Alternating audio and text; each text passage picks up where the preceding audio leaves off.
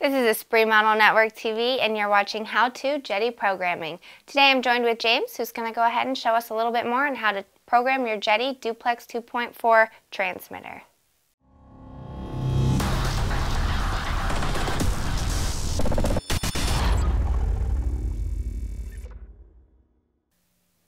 Guys, James with Esprit Model Jeti USA and today I want to show you how you can achieve standalone telemetry with any radio system that you're using in any aircraft. Starting with a Jeti Profibox US, Jeti receiver, uh, you can set this up in your airplane and we'll go ahead and show you from start to finish uh, what you'll need to do. You receive your Jeti box, you take it out of the nice packaging. We'll go ahead and set that packaging aside. First step is of course flip the switch to turn the main battery power on. Hit the escape key, that'll turn the unit on for you. Uh, and of course first thing you want to do is check the mode. So we're going to hit escape to go into the menu. Scroll down to setup, hit enter. Under duplex you'll hit enter again. Jeti box mode is in telemetry, uh, which is what we needed in. Uh, if you had received it and it was in monitor mode, you'll just need to switch it. So you'll hit a right arrow switch to telemetry and hit yes. So we're going to go ahead and escape twice back to the main menu. Next thing you'll need to do is set up your receiver. Uh, unless you've already set your receiver up in telemetry mode, uh, it'll be in standard mode. So what you're going to need to do is connect your male-to-male -male servo connector between your receiver and your Profibox US. Scroll down to JI at the bottom of the screen and hit enter. That'll take you into the receiver programming. You're going to click right one time.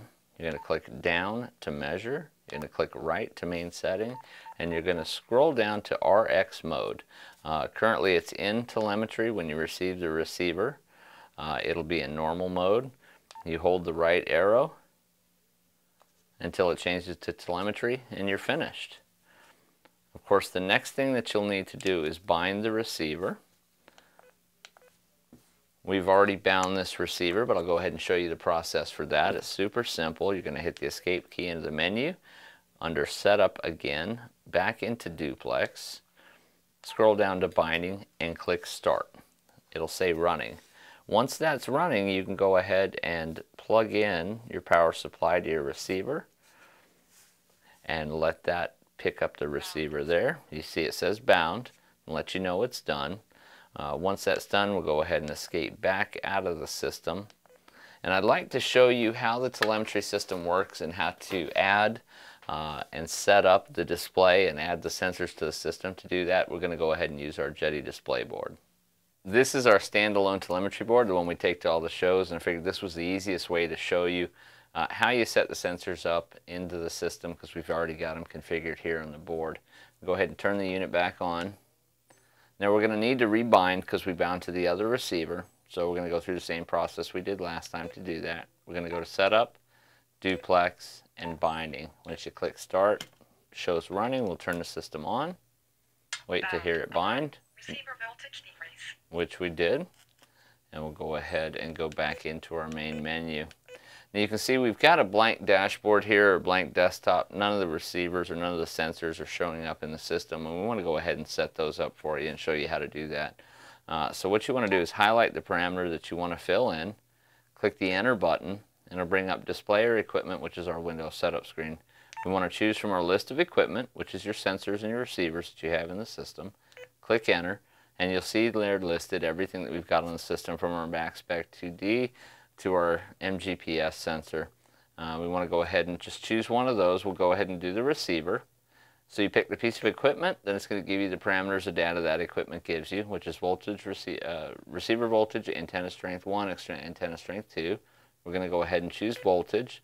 Now you can choose how that's displayed, whether that's a numerical value, a bar graph, or an XY graph. And we're going to go ahead and do a numerical value. Once you click enter, you'll see that, that is immediately displayed on your JetiBox Profi or uh, Profibox US. Go ahead and select the next one, hit enter, go to equipment, and we'll throw in one more piece of data just to show you how that's done. Again, we go ahead and go to latitude, hit enter. We're going to display it as a value because of course it's the only way to display that one. We'll hit enter and you see once it locks in it'll give you our latitude here at the shop. Um, now that's how you set the telemetry data on the display. And of course, one of the nice things with this is there's also voice alarms. So in order to, to demo that, I'm going to go ahead and go into the main menu, go to the alarm screen. We'll go ahead and go down to sensors and give you, this is just our standard generic alarm A. We'll go ahead and hit the button so you can hear what the voice is. Low battery voltage. And you can actually scroll through and change each of those uh, to uh, to a different alarm. So we'll go ahead and on the sound you hit enter and it'll give you an entire list and the first list is in Czech the second list is in German so you got to keep scrolling down once you clear that you get into the English list Warning. High speed. and these are all the available alarms for this system.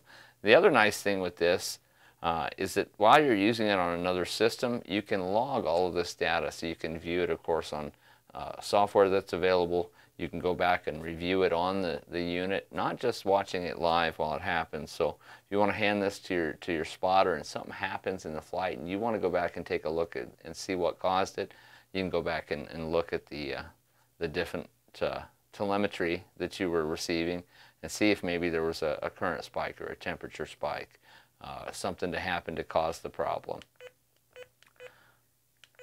But of course, that's our unit, Jeti Profi Box US, uh, in combination with all the Jeti sensors as a standalone telemetry device. And don't forget, no matter what system you're currently flying, you can add this to your arsenal to give you the, the, information that you need to fly. If you have any questions or anything, reach out to us at jetiusa.com or espritmodel.com.